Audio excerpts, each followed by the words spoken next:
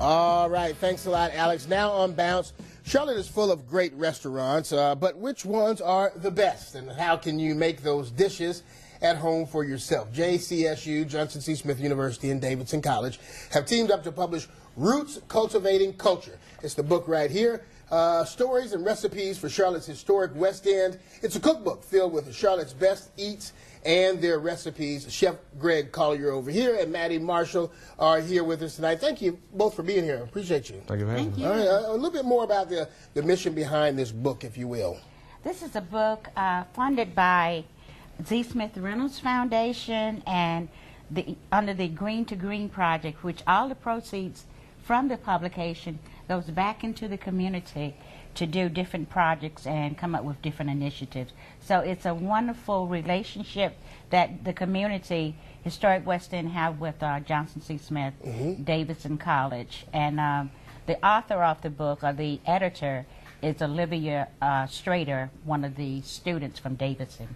So it was their summer research project that they did. So that's how the combination goes with Johnson C. Smith and Davidson, how they got together. It's okay. summer research project. I got you. And we came out with stories from the residents, from their me- uh, memories of how they grew up, and the cooking techniques, and all the healthy, good food, and you know, doing some creative things. All right, and that's all in here. Okay. all all in right. Uh, and you said it mentioned it goes to the community. What exactly does it go to, to helping as far as Uh, community is concerned? Along the corridor, currently, in partnership with Johnson C. Smith University, we have two community gardens. Uh, one in Washington, historic Washington Heights at Nia Point, and one in Lincoln Heights. So we have those community gardens because we are addressing those particular issues of uh, quote unquote food, food type deserts, which uh, we can kind of grow our own, and then also assist with the uh, sustainability village at Johnson C. Smith in their gardens. Okay. All right. So uh, tonight we're going to make uh, one of the recipes, right, from the from the book. Okay. Yes. What, what are we making, Chef Collie? So we're making uh, salmon croquettes. Salmon real, croquettes. Real classic. A real southern classic. favorite. Right? Absolutely, There you go. All right. So uh, you ready to go? Absolutely, let's do it. Where do we start? So we got the salmon. Um, it's a can or a pound. Okay. I want to say maybe a quarter cup of uh, peppers, onions, and celery. Okay. A little bit of Cajun seasoning, Old Bay. Got to get a little bit of got a little bit of old, Got- old bay is. A, I mean, it's, it's always a, there. Yeah. Put a kick in that. Two eggs, That didn't fell down. lightly It's whisked, okay. Yeah. a little bit of salt and pepper, Okay. cornmeal. Yes, sir. Cornmeal help, kind of helps it stay together. Absolutely, It's binds the it. The egg and the Yeah. cornmeal binds it. So Okay. you'll mix that up real good. And the salmon does have bones in it. It's one of those things I couldn't eat as a baby. All right. Okay. I had to get hands off. It got little bones in it, but you can eat. If you're a grown person, you can eat it. You So. chop right through it. You know, it Uh-huh, doesn't chop bother right through Okay. it. All right. So um, what you're shooting for is, what you say, Miss Miss Mattie, about is about that size right there. That's good. How about And your then drop size a- a little bit? Yes. Yeah. I Very drop them in the pan. We already got something ready for you. We're gonna pull out the oven. And this is your recipe, right? Yes, it is. Yeah. Okay. Oh, Miss Mattie's. So um, we're gonna do something a Yeah, little. we have quite a few recipes in here from the uh, the neighbors and so forth. Okay. We have one recipe, oxtail.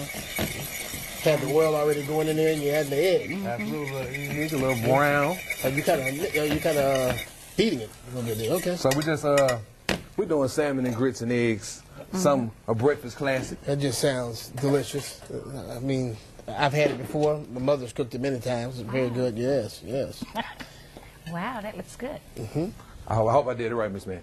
You got to live up to your to your yes, recipe, yes, right? yes. Is it hard watching somebody else make your recipe? When is that is that tough? Is No, it- Do you want to jump in and say no? Stop. I think that's the uh, creativity of our, a lot of the soul food cooking. We all can put a little spin to it, Right. Okay. A little creativity to it, and come out with some great stuff. All right. A good little deal. remoulade to go on top. Oh man, that looks we done. fantastic. Oh, yes. wow. All right. Am I am I supposed to be tasting a little bit? of this? Absolutely, Okay. please. Well, let me go right in here because I, I still got to do the rest of the show, but I I still always have a little time for this. Let's see. Okay. Uh, that's got the grits on the bottom there Yes, too. sir. You set it right on top of there. It's not gonna burn me, is it? You- you Okay. Slow down. Yeah, you like you can you can have it.